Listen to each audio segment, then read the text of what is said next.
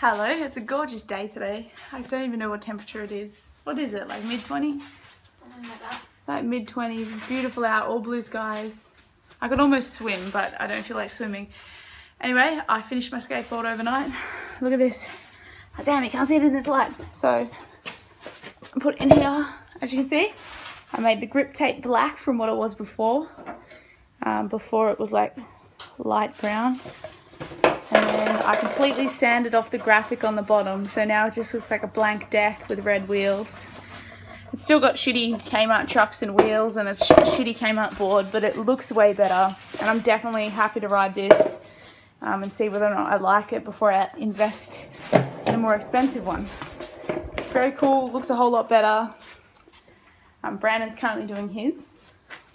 So like I said yesterday, all in all, it cost us 54 bucks to do this. I'm really happy the way mine turned out. If you cut that price in half, that is $27. I got myself an awesome looking skateboard. And it felt really cool to be a part of the process of like actually sanding it down myself and stuff. And Brandon's is yellow on top. You can see, looks fucking sick.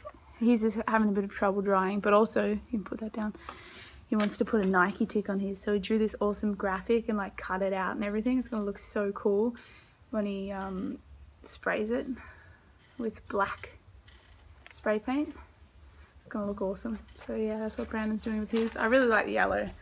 I considered spraying the back of mine yellow, like the, the bottom of the deck, but um, I don't want to have to wait forever for it to dry and I'm pretty happy with just how how it's playing right now. Um, if I get the urge to, I've got the yellow spray paint just here so I can do it if I want to later on.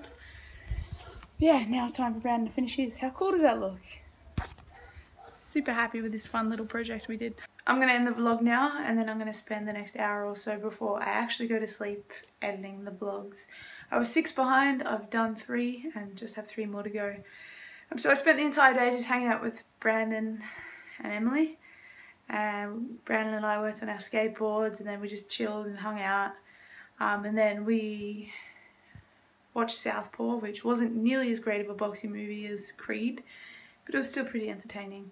Um, and then I took Brandon home and before I took him home, Emily went home to her house. So Emily will probably be coming back tomorrow night. Haven't really been to her house since Christmas. Um, and I haven't really stayed there since a few days before Christmas.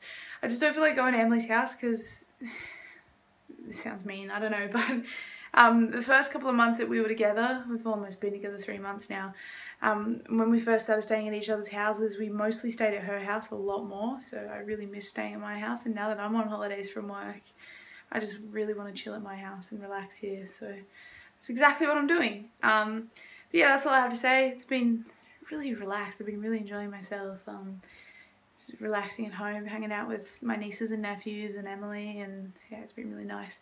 That's all I have to say. Thank you so much for watching. Hope you're doing well. Take care and I'll see you tomorrow. Bye.